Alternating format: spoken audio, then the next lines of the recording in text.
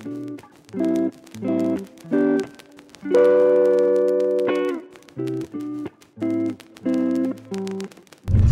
the bookstore.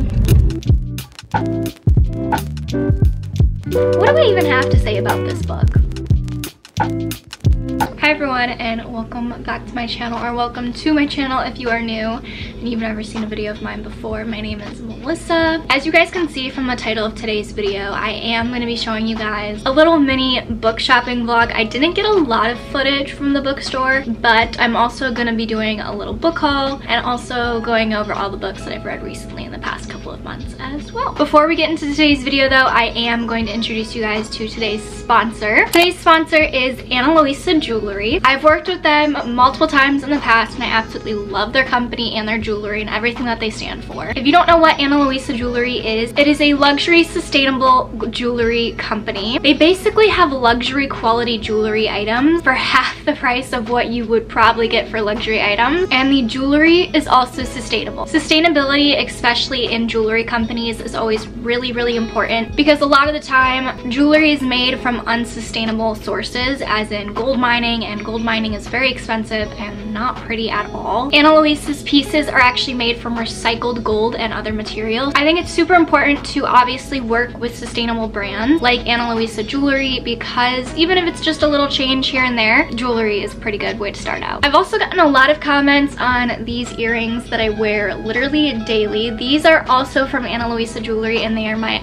absolutely favorite pieces. I've had these earrings for a very long time and I go in the shower with them. They haven't rusted or anything. I love them. They're so, so nice. The pieces of jewelry that Ana Luisa sent me, they actually sent me three pieces of jewelry. And you guys know, I'm not a very big hoop wearer, but I decided that I would go outside of my comfort zone and I would get hoop earrings. These are the ones that they sent me. The second pair of hoop earrings that they sent me were these just, you know, regular ones. I would probably wear these hoops with some like going out kind of attire, some black pants and like a cute like cropped shirt and I wore these these. Are really, really nice statement pieces. The next pair of earrings that they sent me, they're these little paper clip earrings. Kind of just look like this. They're also gold. They have these in silver as well. This is kind of for more like an everyday wear, like kind of what I wear with these. I would actually probably pair these earrings with my little boa earrings as well. I think these are just super, super cute. They're really good everyday wear. And currently right now, Ana Luisa is running their summer sale, which means you get 20% off any piece of jewelry that you buy, which is huge. So if you guys are interested in buying some pieces from Ana Luisa, make sure you go buy them right now. There's a 20% off summer sale right now. Probably the best back to school kind of shopping that you can do for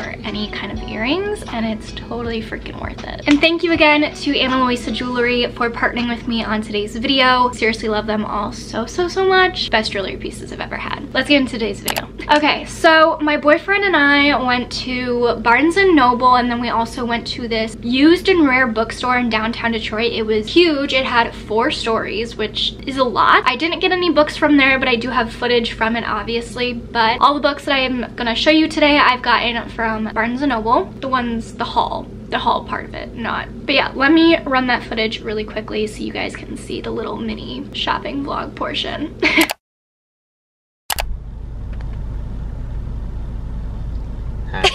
Barnes & Noble is doing a 50% off pretty much everything sale in their store. We thought we'd take advantage of it. My little satchel. man purse. Get you a man who carries your purse for you.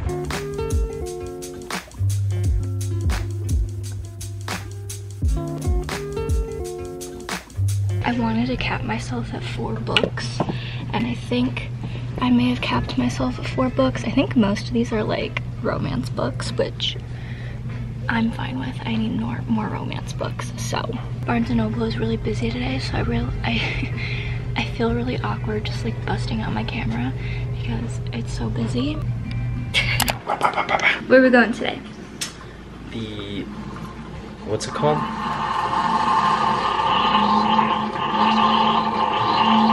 Do you not remember either? coffee. Mm -hmm. I've already made the coffee. There's that in there. And now we do the cold foam. I'm gonna get it on my camera. Just plop. Oh, gee, then. Damn. I'm coming for Starbucks.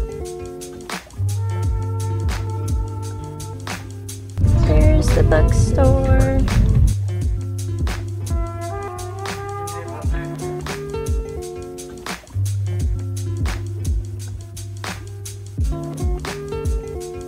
The engineering aisle, just for Einstein in the making. Shut up. He doesn't like it when I call him Einstein in the making. Because he doesn't think he's a mini Einstein. I say otherwise.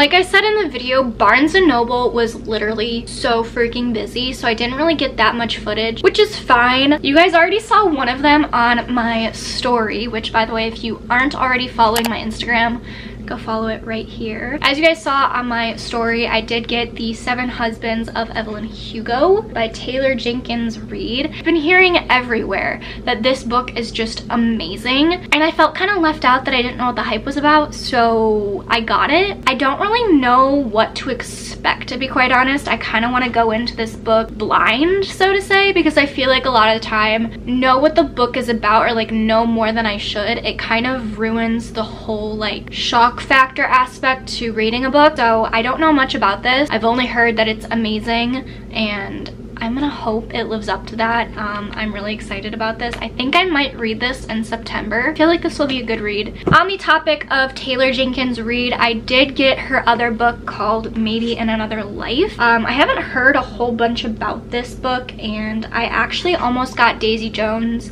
and the Six, but when I was reading the back of like, you know, like the synopsis of what it was about, it didn't sound super interesting to me, but this one did. Pretty sure it's kind of like a romance book, which you guys know me, I love my romance books. I've kind of been on this kick of romance books for a while now. I read all of the off-campus series, which I'll get to towards the end of this video because that's part of what I read recently. Just been super into romance books lately and they've just, I always just want to read a romance book. So I think getting more romance books right now is a good way to go. The next book that I got, I think is actually a newer book. Um, at least I think it is. I haven't seen it before and I've only known a couple people have read it. I got the Spanish Love Deception. I got this. I've been seeing a ton of like fan art for this one and just a lot of TikToks about Aaron Blackford. So, and it's, and it's a romance book. So I'm really trying to justify why I bought five romance books. I also think the cover is really pretty. For some reason, I just really like the whole like digital art kind of look to the cover because I do a lot of digital art like this because it just looks super pretty. So I really like the cover of it. And the synopsis on the back just sounds so good. Basically, it's about this woman who has to like fake date this guy and they go on like a wedding trip and then they go to Spain. But like she hates him. So it's kind of like an enemies to lovers kind of book, I think. The next book that I got is actually Verity by Colleen Hoover. I've heard Verity is kind of like a romance paranormal thriller kind of book and it's a pretty like decently short book so I feel like it won't be like a huge letdown if I don't like it because it's only like 200 some pages. I feel like I might like it so I got this one. If there's any other Colleen Hoover books that you guys think that I might like leave them in the comments below because I, I kind of want to start getting into liking her books. Let me know in the comments below. All right, last book. And I know I said I wasn't gonna get the second book in this series, but I saw it at the bookstore and I got it. I haven't even read A Court of Thorn and Roses yet, but I just feel like I'm really gonna like it. My friend Judah has read the entire series and she said it's amazing. So I decided to cave and I got the second book in the series. It's huge. It's all the books that I got. Moving on to all the books that I've read within the past couple of months. This is gonna be fun. I'm gonna talk a lot. First book that I read within the past couple of months is The Deal by Elle Kennedy. I actually read the whole off-campus series.